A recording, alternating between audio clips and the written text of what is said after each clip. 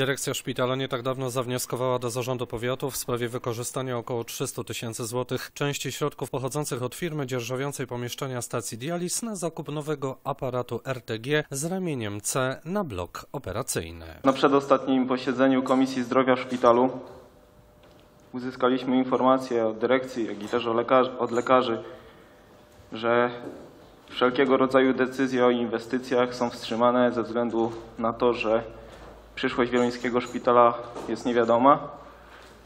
To jest związane czy to z y, komercjalizacją, czy przekazaniem szpitala pod opiekę marszałka.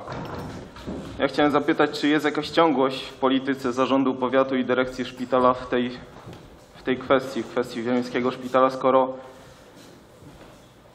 miesiąc temu przekazano nam informację, że wszelkiego rodzaju inwestycje są wstrzymane, a w tej chwili, w tej chwili rozpatrywane jest y, właśnie przekazanie środków na inwestycje w szpitalu. Jak to ma się do, globalnie do, y, też do planów względem wieluńskiego szpitala? Faktycznie e, żeśmy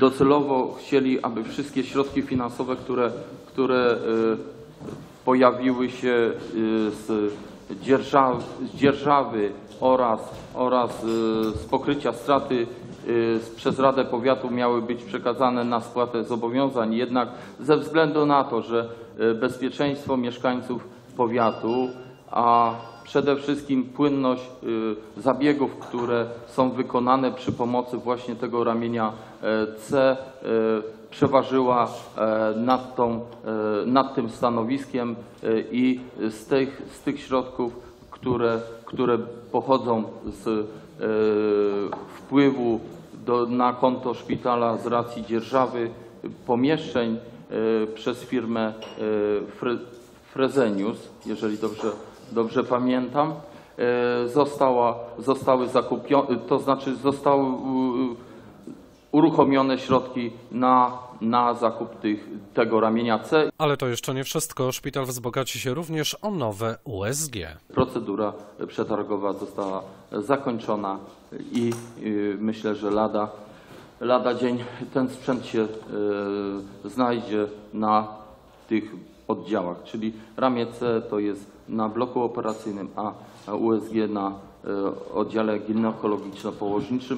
Y, Myślę, że y, tu nie można, nie można podchodzić do tego, że, że nie ma spójnej po- polityki. Spójna polityka, y, polityka myślę, że wszystkich nas tutaj siedzących w, stosunku do, do, ochrony, do ochrony zdrowia jest taka, aby zabezpieczyć maksymalnie, maksymalnie mm, bezpieczeństwo zdrowotne mieszkańców powiatu wieluńskiego. Tymczasem, jak pamiętamy, w trakcie kampanii wyborczej podczas wizyty zarządu województwa w Wieluniu, któremu przewodził marszałek Witold Stępień, obszernie, choć mało konkretnie mówiono o pomyśle przekazania wieluńskiej lecznicy pod zarząd województwa. Co zatem dzieje się w sprawie? Analizę prowadzą specjalne zespoły. Zostały przekazane y, materiały y, y, oczekiwane przez Urząd Marszałkowski.